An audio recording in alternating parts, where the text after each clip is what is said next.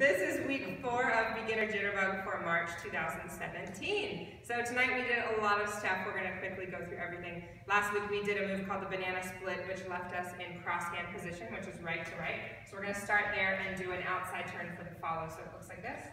Triple step, triple step, rock, lead, triple step, triple step, rock, step. So leaders, you can use this as an opportunity to pass your right hand back to your left hand um, or you can stay in crosshand. It's kind of up to you. So follows uh, the path we're going to be taking. First, leaders, you're going to use the rock step to slightly offset yourself to the right. So we rock step. Leaders, you've just created a window for me to go through. On that first triple step, you're going to lift that right arm up and create a space for the follow to go. Follows, we're going to go straight forward on the first triple step. The second triple step, we're going to turn to face, triple step, and we finish with a rock. Making sure as we go through the down a line that we are not extending all the way and making our arms all stretched out, okay?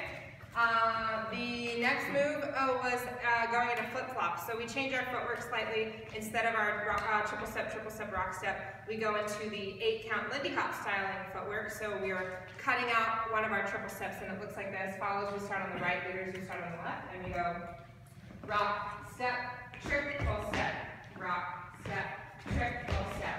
One, two, three, and four, five, six, seven, eight. So putting that with a partner for the flip-flop, it looks like this. From closed to closed, we go rock, lead, triple step, rock, lead, triple step, rock, lead, triple step, rock, step, triple step. So follows, your arms always stay on top. Make sure you don't reach around to the shoulder. You just want to stay right chicken wing on that shoulder blade.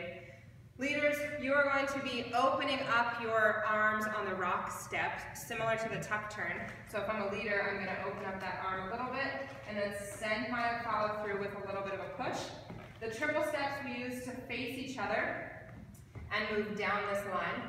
Leaders, you catch with that opposite arm and then you rock step on the opposite side. So when we're doing the flip-flop, we're always rock stepping with our outside foot. So again, it looks like this, starting in close, we rock step outside foot, triple step, outside foot, triple step, rock, step, triple catch, rock, step, triple catch. Getting out of that, leaders, instead of using an open up rock step, you're going to just go straight back, rock, step, and then bring your follow a little down for your regular basics, triple step, triple step, rock, step.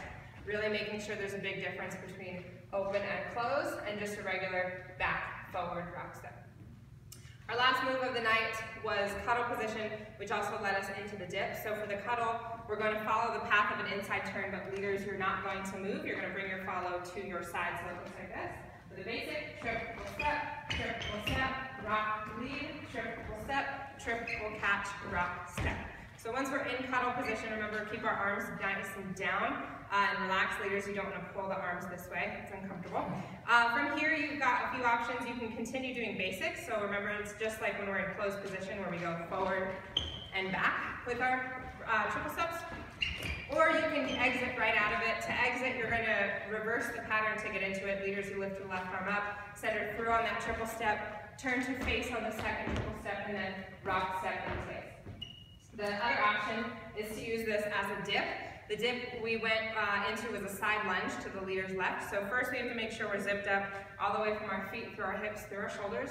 Leaders, you're gonna take a small step out to the left, lunge slightly into it, and bring your follow with you. Remember, you gotta do a little hip squeeze, bring your follows hips with you.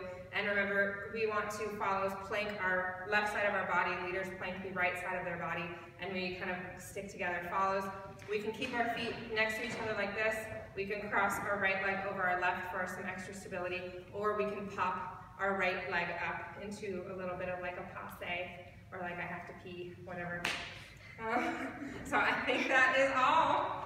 Thank you so much. We'll see you next time.